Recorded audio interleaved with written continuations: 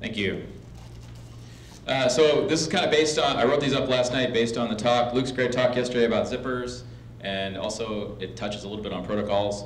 Um, and it's something that we're doing at Revelytics um, to do tree mutation with zippers, so I thought it was interesting. Um, first, I want to talk a little bit about doing zippers over records, uh, tree of records.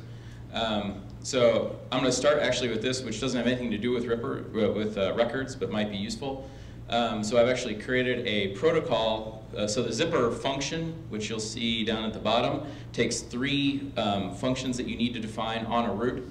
And uh, I've actually used a protocol to define what those are um, so that we can sort of swap in uh, an implementation for each of our record types.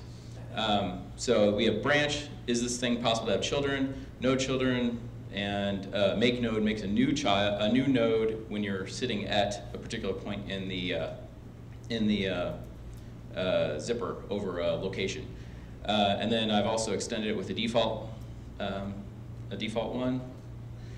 And so here I'm going to create some records, and these records are really, uh, so I'm kind of doing some arithmetic type stuff, so a scalar function, something like plus or minus or concat or whatever. It's some function, it has some expressions that go with it. Um, I've got a comparison, which is something like left equals right or left greater than right.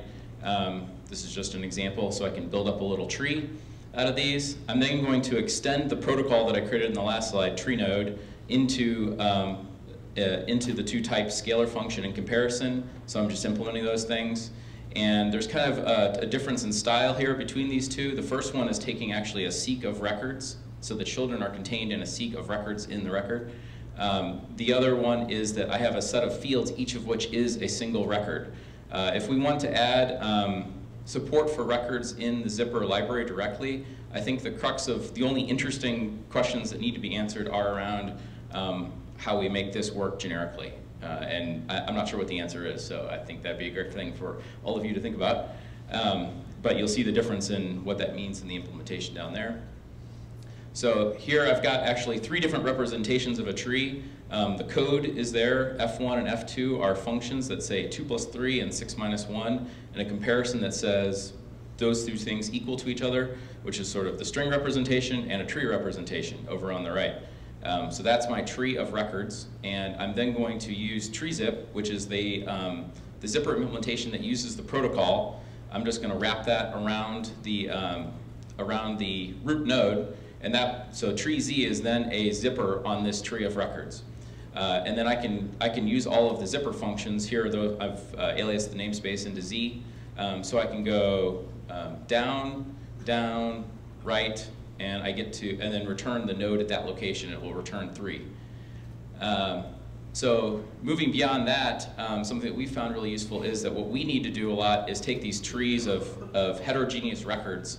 I want to search for patterns inside that tree uh, and then mutate the tree in, in some way that um, changes it to a new tree. And I want to do this over and over again. So we wrote this function um, that's going to take a zipper, a matcher function, and an editor function. And it's going to, um, I'm doing a loop recur here. It's basically on top of uh, zipper next until it hits the end. So I'm just skimming through in depth first order through all the locations in the tree. At every location, I'm going to apply the matcher function. Uh, I'm going to get the matcher result, and uh, what we found is that oftentimes the matcher is building up state that I don't want to redo that work in the editor, so we actually return the result of the matcher function uh, into the editor if it matches. So that was a nice performance improvement. Um, so the edit function is then modifying the node. So if we matched, then at that point in the zipper node, um, if we've matched, we apply the, the zipper edit function with our editor function. Um, and if, the, if there was a change, uh, then we bail out. And otherwise, we keep recurring. Um, so this will apply exactly one tree mutation. And there's more stuff that we wrap around this um, to sort of apply multiple rules. But as an example, here I've got a rule that says um, the match function is, is it a scalar function? And if it is, um, the editor function takes the result of match, which in this case I don't care about, that's the underscore, and then it takes the node under th that I'm at, and it will then apply that um, either plus or minus, or it'll say, oh no's, if it finds something it doesn't understand. And then, uh, so we will apply that and we'll get the second one. Oh, that was it. So you'll get uh, you'll be able to apply to two plus three and get five. So you can apply it multiple times. That's it.